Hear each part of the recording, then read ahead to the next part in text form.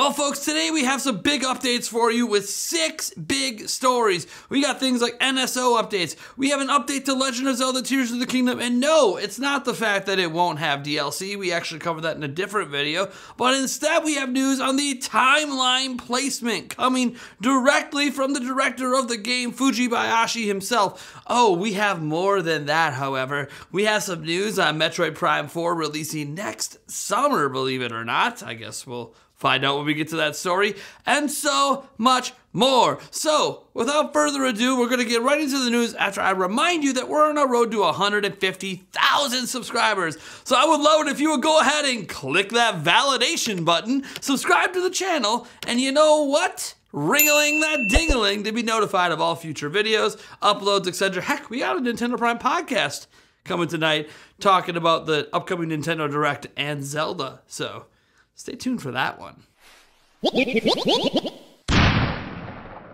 And our first story today deals with a brand new update to Nintendo Switch Online. Here's that trailer. Come on, editor, drop it. Okay, so we have a bunch of games in here, including three of them that were never released outside of Japan. So that's exciting on one hand. And then again, these are maybe one of the least exciting NSO updates.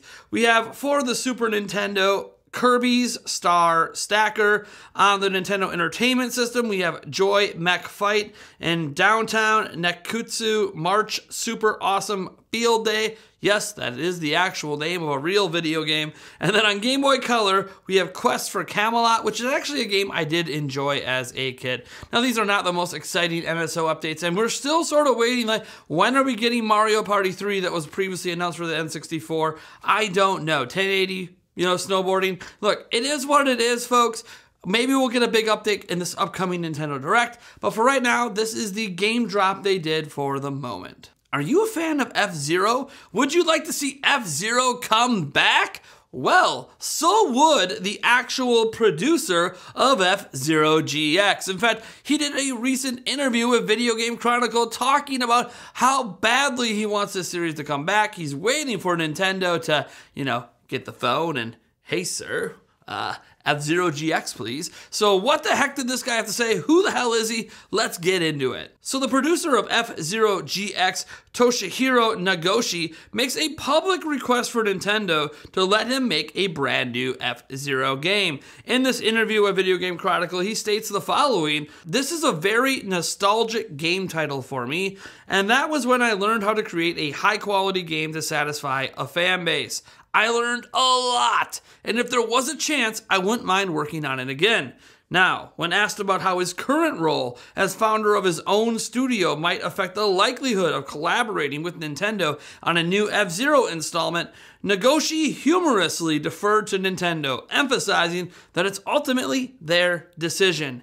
Fans have eagerly awaited a new F Zero game since the last entry, F Zero Climax, for the Game Boy Advance. Yes, folks, that's a real game.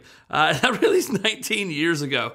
Notably, in 2021, Nintendo veteran Takaya Imamura, the artist responsible for designing characters and vehicles in the F Zero series, expressed his belief the series wasn't dead, but was challenging to revive. In a previous interview with Video Game Chronicle earlier in the year, Imamura, who left Nintendo in 2021, suggested that Nintendo could consider outsourcing the new F Zero title to a third party developer. He highlighted the success of Donkey Kong Country, which was developed by Rare and published by Nintendo as a testament to the potential of such collaborations. We've also obviously seen Nintendo collaborate with tons of studios over the years for various reasons and different video games. So my thing is obviously you can even look like someone like Sakurai who continued to make the Smash Bros series even though he runs his own studio. Technically, I don't really know that he has a lot of staff on his studio, but he technically owns a studio and doesn't, you know, isn't a contract employee of Nintendo. So I don't know. I would like to see F Zero come back. Of course, it is one of my favorite racing games from my childhood. And yes, is different than Mario Kart. Different enough, I think, to warrant a continued existence. But again, this is up to Nintendo. And it is nice to see the producer of F Zero GX sort of being like, look, dude, if Nintendo just picks up that phone and, hey, man, dude, F Zero, he'll sign up. He also might just want a little bit of that Nintendo money.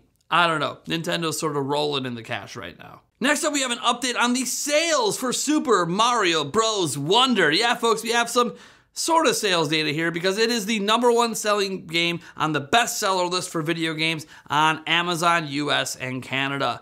Pretty exciting stuff. Now, what's interesting, of course, is it's not actually ranked number one in the category because that's usually a bunch of gift cards. But as you see on this list here, it actually comes in at number eight. The interesting thing is, it's not just behind gift cards, it's also behind the Super Mario Fruit Snacks. Man, I never thought I'd see a Mario game lose to a spin off snack. Quite interesting. If anything, why not the Oreos? The Mario Oreos are great, but apparently the fruit snacks are all the craze right now. Now, it's actually also ahead of the PlayStation 5, which is at the number 11 slot, and the next video game on the list is actually at number 15 in Starfield. Now, remember, these are physical copies of games. The Xbox Series X actually saw a bump as well. It jumped from around 36 to the number 12 spot, right behind PlayStation 5 likely on the heels of the Starfield release. So, yeah, Super Mario Bros. Wonder is selling very, very well physically. We don't have a lot of pre order data yet for other places. It's also the number one most wanted game on the Famitsu chart. So, when people are voting at Famitsu Magazine on their most wanted game, Super Mario Bros. Wonder is the number one game ahead of Spider Man 2 and the rest. So, guys, look, Super Mario Bros. Wonder is going to sell extremely well, and the real sales data is likely to be much more impressive than any pre order numbers we get. But, you know, it's always a good sign for Nintendo and company and an inventive game like Super Mario Bros. Wonder appears to be to do so well in these sort of pre-sale charts. Now next up we deal with maybe the most complicated topic that you could deal with in the world of Nintendo, the Zelda timeline. Oh boy. Yes, we're going there because you know what? Fujibayashi went there in the exact same interview with Famitsu Magazine where he talked about how there won't be DLC. If you're curious on the DLC stuff, we'll have a link to our video on that down below where we go into greater detail on the fact that there won't be DLC and also some details on the next Zelda game. Again, pretty big news why it's a standalone video, but for those curious about the timeline placement, here is a summary of what he said in the interview. The interviewer asked how the game fits into the existing timeline, given Skyward Sword seemingly depicted the founding of Hyrule, while this game also does. Fujibayashi only reaffirms that the game is set following Breath of the Wild, and that the Zelda series is designed to have a story and world that doesn't fall apart. With the latter assumption in mind, he believes there is room for fans to wonder if there are various other possibilities. He does suggest one possibility and clarifies that he's only speaking on it as a possibility, not a fact, that there may have been a history of destruction before Tears of the Kingdom's story of Hyrule's foundation. He says he does not create things randomly and wants fans to imagine parts of the story that have not been told. So, what he's seemingly suggesting is all of the timeline actually maybe happened before, but the world got destroyed for some reason, and this was a new founding of Hyrule. This also could suggest a yet another timeline split that maybe came off an era of destruction as well, that maybe happened around the Skyward Sword timeline. Look, there's a lot of stuff that we could speculate here, but it is interesting anytime that we see the actual director of the game chime in and give us a possibility that clearly means that possibility is something that's on his mind while he was making Tears of the Kingdom. So maybe some of you have been spending this last week playing a little unknown game called Sea of Stars. Look, the game has reviewed incredibly. It's at a 90 overall on Metacritic, and you know what? does have a small possibility of being the indie game representative for Game of the Year. And honestly, at a 90 overall, who can argue that it wouldn't be deserving? Well, we do have a sales update, and holy crud, the team is ecstatic. They put out this tweet on Twitter showing that the game has sold 250,000 plus copies. So over 250K copies of this game have been sold. And they noted this was their sales goal for the entire first year of the game.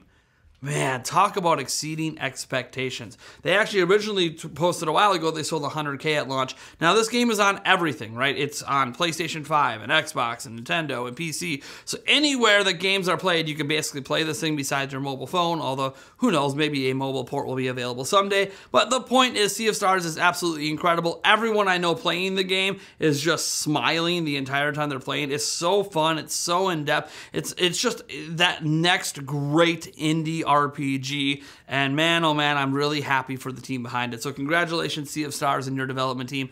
And hopefully on your continued success. And who knows, maybe your first year sales will cross 1 million.